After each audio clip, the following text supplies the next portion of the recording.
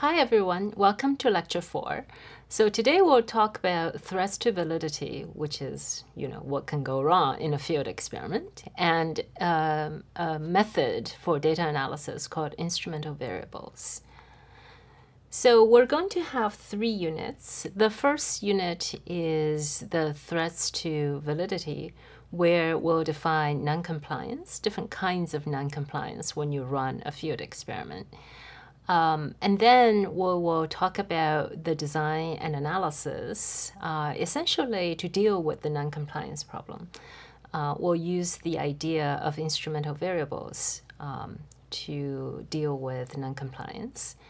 And lastly, we're going to use an example of a field experiment where we encountered noncompliance and we used instrumental variable regressions. Um, and so that's the Ai et al. paper. So let's go through the first topic, which is threats to validity. And essentially, all sorts of things can go wrong when you run an experiment. So for noncompliance, we differentiate between one-sided versus two-sided uh, noncompliance. Uh, we might also have attrition or spillovers or evaluation-driven effects. So lots of these effects are very intuitive, and we're just going to go through them one by one. Uh, hopefully, when you design experiments and analyze experiments, you remember these uh, threats to validity. So let's take a look at the noncompliance or failure to treat issue. Uh, the one that's often encountered uh, by experimenters when you work in the field is one-sided noncompliance. Sometimes it's called the failure to treat. That occurs when some of the subjects assigned to the treatment group do not actually receive the treatment. Uh, an old uh, example is when you send out, let's say, fundraising letters, um, and you know these letters contain some. Some of them have the treatment version, some of them have the control version inside the envelope uh, your potential subjects receive the envelope and they didn't even open it, so they just toss it into the trash. Well, then they're not treated because they did not read um, what you intend them to read. Uh, the other type of noncompliance is called two-sided noncompliance. This occurs when some subjects in the assigned treatment group go untreated and some subjects in the assigned control group actually receive the treatment. Um, so we'll go through examples of both, but let's go ahead and define uh, assigned versus actual treatment. Sometimes it's also called intent to treat for assigned treatment, and actual treatment is called treated. So we're going to use the same set of notations that we've always used. So we're going to uh, let the experimental assignment of subject I be denoted as Zi. So Zi is an indicator variable. When Zi equals 1, the subject is assigned to the treatment group. And when Zi equals 0, the subject is assigned to the control group. So in the previous lectures, we say that di equals zi. Remember, we use di to indicate treated versus control subjects. So basically that assumes that all subjects assigned to the treatment group are treated. In other words, when you send out the letters, everybody actually opened the letter and read it. And also we assume that no subjects assigned to the control group are treated. So the the household that receive your letter who's assigned to the control group actually just read the treatment letter. In other words, they don't wander into their neighbor's house and say, Oh, you received the same letter, let me read your letter. Um, if the neighbor happened to be in the treatment group, then the subject in the control group will be contaminated.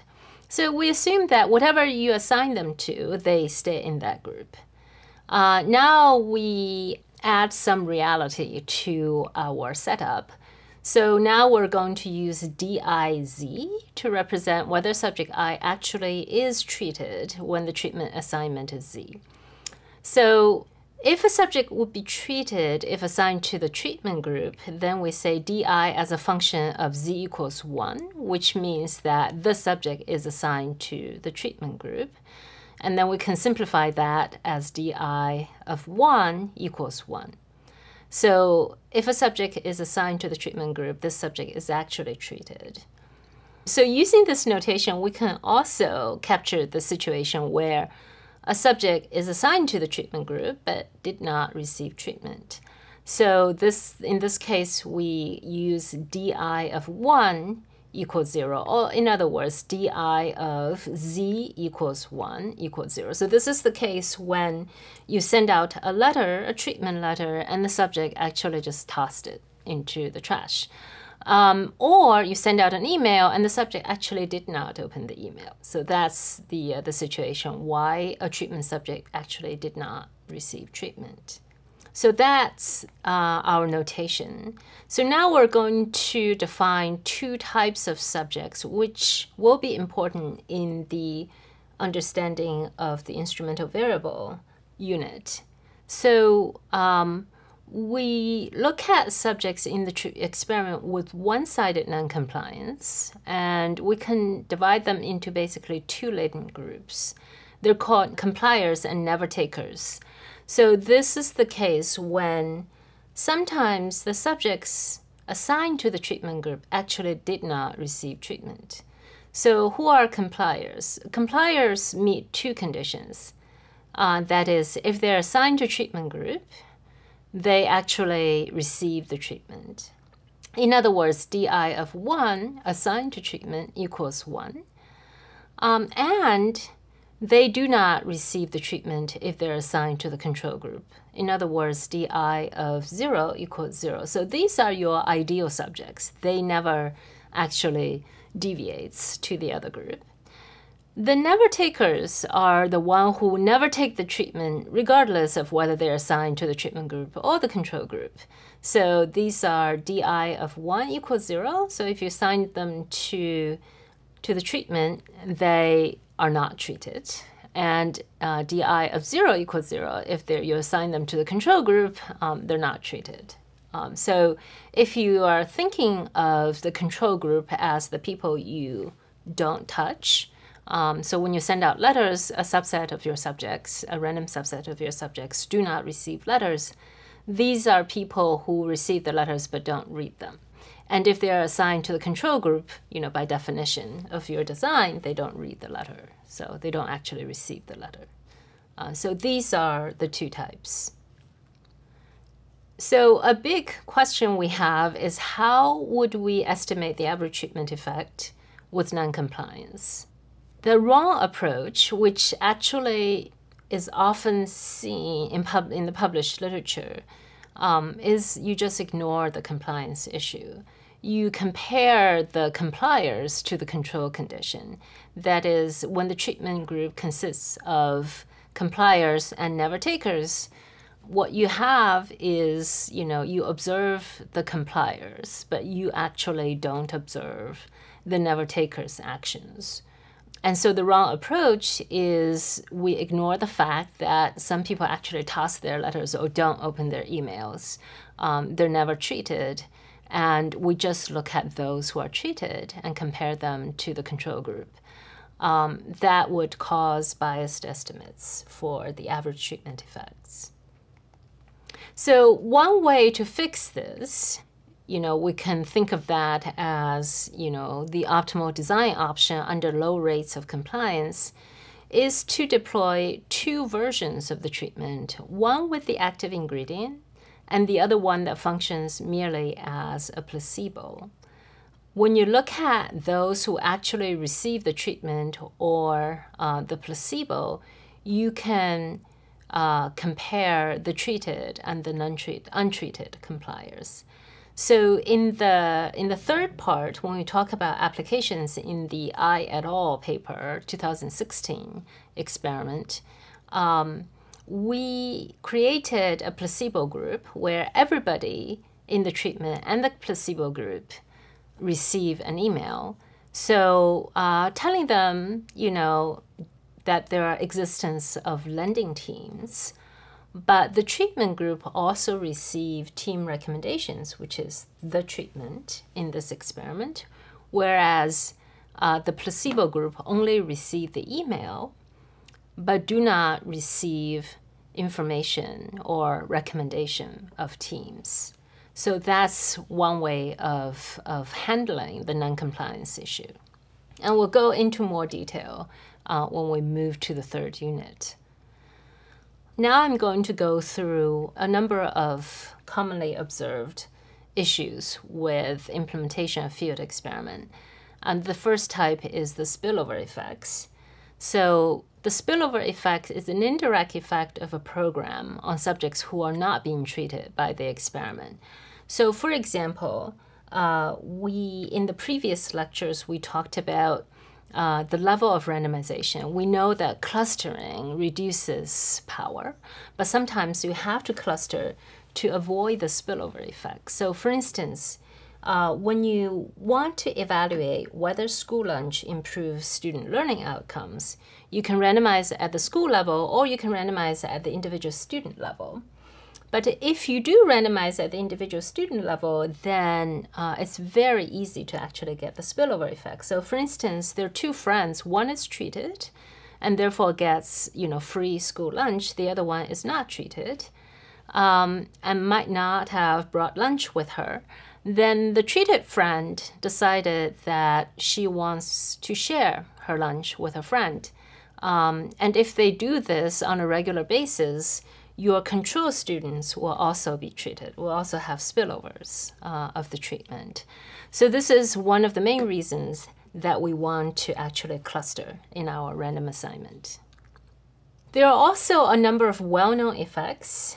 They're called the evaluation-driven effects. So uh, we're going to go through them one by one. Um, the first one is called the Hawthorne effects. So this refers to a situation, you know, in the 1920s, uh, there was an illumination experiment conducted at Western Electric's Hawthorne plant near Chicago in the 1920s. Um, so the idea behind the experiment is that they will change the lighting situation in the factory and look at how that lighting situation changes productivity. However, the treatment group is aware of being selected and they feel special of being in the treatment group. Therefore, they work extra hard during the observation period. So they actually, you know, even when the experimenters change the lighting to the original status quo, you still get this increased productivity. And so this is the situation where the uh, participants knew that they were being treated and they actually changed their behavior as a result of being selected. So, how would you reduce the Hawthorne effect? One way to do that is to make the treatment as um, discreet as possible so that if, if possible, you do not reveal that you are actually conducting an experiment. Another effect that's fairly well known is called the John Henry effect, which is the situation where a control participant is aware of their status as members of the control group and is able to compare their performance with that of a treatment group. So they might actually work harder to overcome the disadvantage of being in the control group that would attenuate your treatment effect. And it's called the John Henry effect because uh, John Henry was a legendary American steel driver. Um, his output at the time was being compared to that of a steam drill. Uh, when he knew that, he worked so hard to outperform the machine that he died in the process. Um, so that that's why um, this is called the John Henry effect. Again, when you reveal that a participant is in an experiment, is in a field experiment, when they're aware, they're in, either in the treatment or the control group, they might change their behavior. There's another effect which is fairly prevalent. It's called the experimental demand effect. And the uh, often cited example is the Stanford Prison experiment. So, this is the case when Dr. Philip Zimbardo, a social psychologist at Stanford at the time, uh, put participants into, you know, they ran, he randomized the participants into two roles the prisoners or the guards. So during the experiment, the participants change their behavior to fit what they believe the experimenter is trying to test.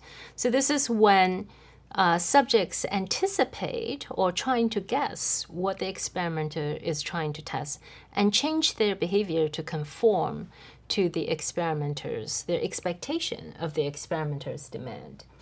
So, in this particular experiment, both sides took their roles far too seriously and conformed to the stereotype of, you know, prison guards versus prisoners. Uh, the experiment had to be cut short after only six days. So, uh, another criticism of the Stanford prison experiment is that it's a demonstration rather than a well designed experiment. That aside, experimental demand effect is actually prevalent in both lab and field experiments. So, for instance, in a lab experiment, if you, as the experimenter, walk around the lab and watch what each subject um, is doing, and perhaps even uh, give signals of approval or disapproval, that would influence the results of the experiment. So that's called the experimental demand effect.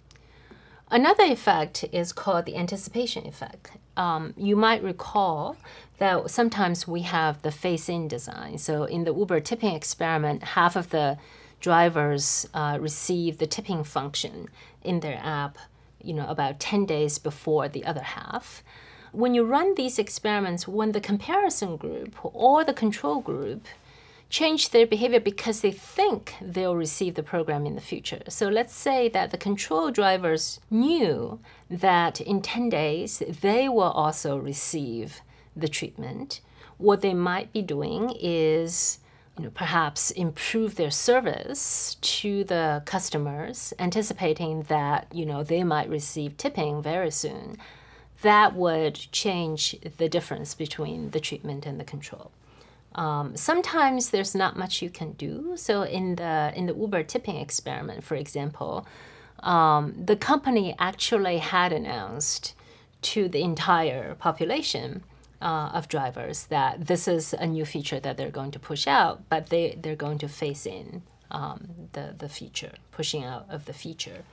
Uh, so this is uh, Muhammad Yunus who was the managing director of Grameen Bank, who piloted the group lending and microfinance programs in Bangladesh. Um, so, in lots of development experiments, we also have used the phase-in design, which is, you know, a fraction of the villagers would receive a treatment or a program uh, before the other the other half. Um, and in that case, if they anticipate that they're going to be treated, they might be changing their behavior before the treatment starts. Um, so that's something to be aware of when you design an experiment, and when you, especially when you release information about the timing of the treatments. Another effect um, is called the survey effect. This is particularly worrisome when you try to combine a survey together with an experiment. Generically, this is a very good idea.